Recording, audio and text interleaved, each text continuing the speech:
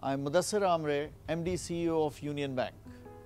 I'm thrilled to have completed my first week in office as a consequence of a landmark transaction involving two banks, one with rich legacy and a strong track record of 105 years, other recognized as a young and ambitious bank. This is a new and exciting chapter in our lives. And when I say in our lives, I mean customers, partners, employees. I call it Union Family. Union Bank is an iconic brand with deep roots in Nigeria. We understand that, appreciate that, and value that.